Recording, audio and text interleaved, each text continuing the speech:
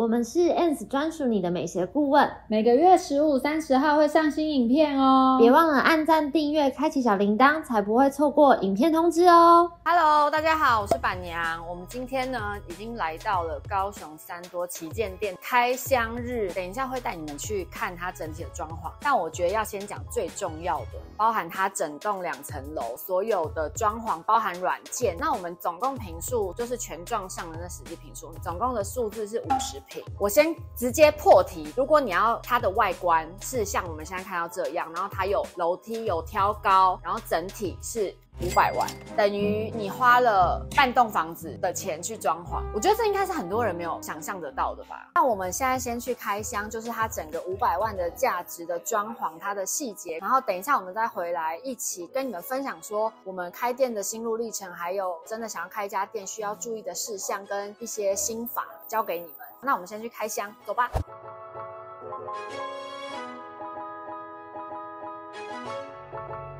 我们现在已经在三多门市的门口，今天就是装潢后的首度开箱。我们先来看那个外面，这一家比较特别，它会有一个。骑楼的，比如说有男友啊，他们就可以坐在这边，就是在这边等你，然后你就不会觉得啊，好很有压力哦。然后再来是这边橱窗展示区，我们橱窗是做那个玻璃的圆弧，然后主要还会有一个婚鞋的礼服，这样你就可以想象说，哦，我穿起来大概新娘子会是怎么样的样子，比较可以有想象的画面。然后再来就是另外一个橱窗，它是联名 Kitty 的系列。然后这边有一个烟火灯，很可爱、梦幻。整个橱窗是做一个倒圆角的感觉。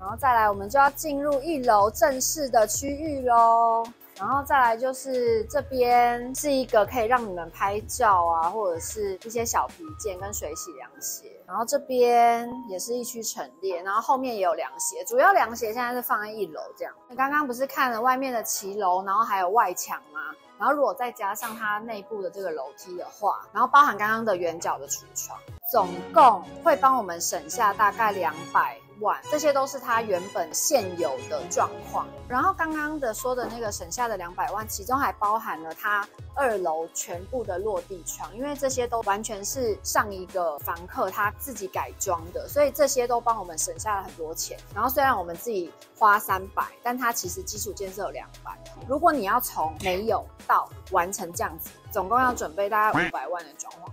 然后二楼，因为它采光很好，所以主要都是不会改变太多它原本的结构，然后是用一些软装去陈列它。这些展示的柜子啊，就是属于软装，未来都是可以移动的。这个在你一开始创业的时候也很重要，就是你不要去定做柜子，然后定死在那里，就是你要让它是未来，假如你搬走了，你还可以再利用，这个比较重要。在这一区啊，就是专门比较是一些宴会啊，或者是跟鞋，或者是新娘的婚鞋。然后这边也会有一个白纱，就是你可以这样子现场感觉说，哦，我如果穿白纱的话，搭配起来的感觉是怎么样？这一区就是可以，就比如说你跟姐妹一起来，她帮你挑婚鞋，你就可以很自在在这一区里面活动。然后二楼的后半部啊，就是主要是通勤上班族系列，所以你看现在很多就是他们在选购，他们一天要穿。超过八小时的鞋就是很重要。你如果有来我们三多门市的话，二楼是一定要来，因为二楼的区域范围是比一楼大非常多，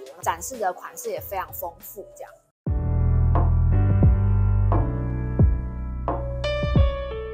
你想象得到五百万吗？还没有装潢过经验的时候，我是完全想象不到。我一直以为是五十万就可以解决的事情。像我们之前可能装潢的钱会抓在一百到两百左右，但这一栋它其实总共的那个包含外墙，然后骑楼所有的，它的总价值是五百万。然后，但是因为我们前面的房客他已经建制好了水泥的外墙，然后跟骑楼，然后跟楼梯也是他留下来的。你现在看到的这些，我后面这种落地窗都是他后来公寓打掉，因为这边二楼原本也是一个住家，然后他是把它打掉了之后，然后整个是重建，然后所以你才可以有这么大片采光的落地窗。这些都是前面一个房客留下来给我们的。然后这些价值，我有问过设计师，如果这些都要我自己做的话，我要多。花多少钱？他说大概要两百万。然后我们现在实际就是只是把它整理过，然后重新油漆、重新铺地板，然后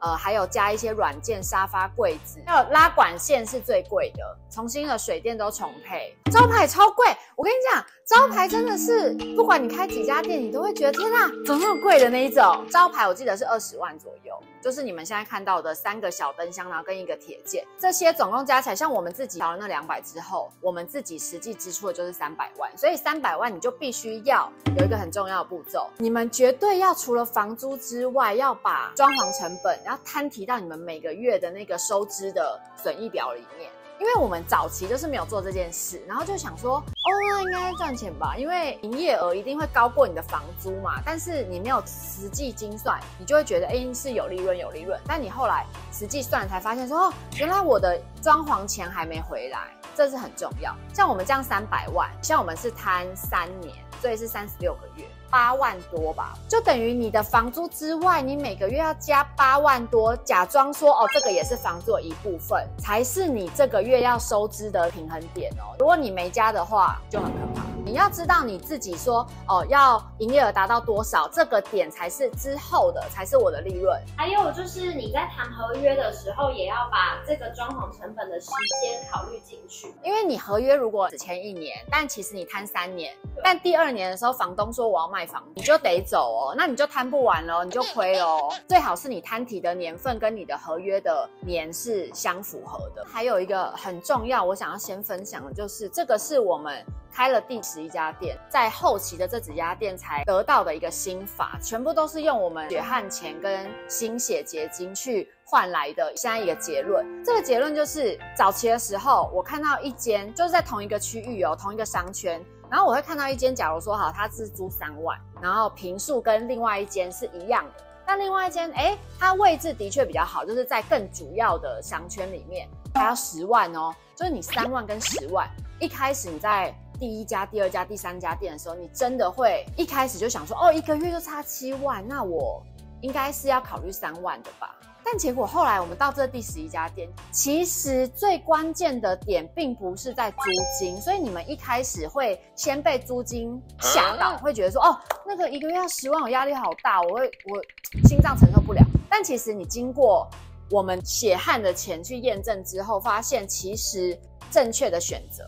应该是要租十万的那一个，因为为什么？主要的压的钱会耗在装潢跟你的人事，但人事基本上只要你平数差不多，你要用的那个人事成本就会一样，这就固定，所以这个我们不讨论。那会变动的就是装潢的钱跟他的房租，但你可以去试算说，假如三万跟十万，然后他装潢的钱是一样，你每个月的目标值是多少？你会发现说差距其实不大哦。但假如你换到你的装潢费用，一个是一百万，一个是两百万，哦，这就差超多，就是你的那个基底值会突然变很高。总结就是，装潢的费用、跟人事的费用，还有租金的费用。是开店面最主要的三大费用，那这三大费用都要一起去考量，不能只有被房租便宜吸引，而且那也要考量到人流的部分嘛。像这一间三多店，它是三角窗。对，我跟你讲，就算他经过，他没有买，他经过了省十八次，他第十九次可能会上网 Google 说，哎，这是什么牌子？这样想要了解我们的价位，他可能不好意思进来，但他会做这动作。这就达到了这个三角窗它的广告效益。但是反观刚刚说那个，假如是三万块，然后可能在就在旁边的巷子，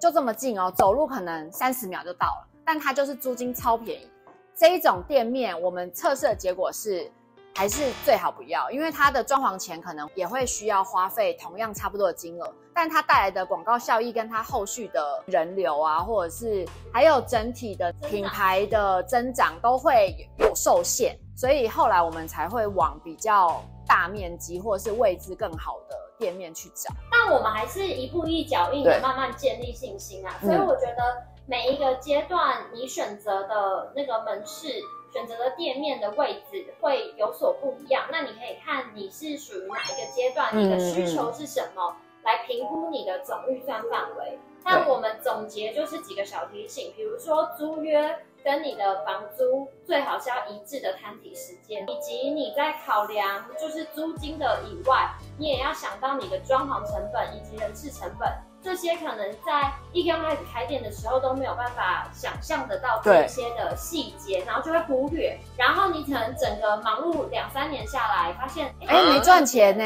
还是说不定还赔钱呢。对，所以这个就是事前给大家的小提醒，我觉得算是一个。蛮实用的分享，这是真的是用心血换来，血泪哦，真的是千万血泪。如果你喜欢今天的影片，记得帮我们按赞、订阅、开启小铃铛哦。然后每个月的十五、三十号都会有新影片更新，谢谢大家，拜拜。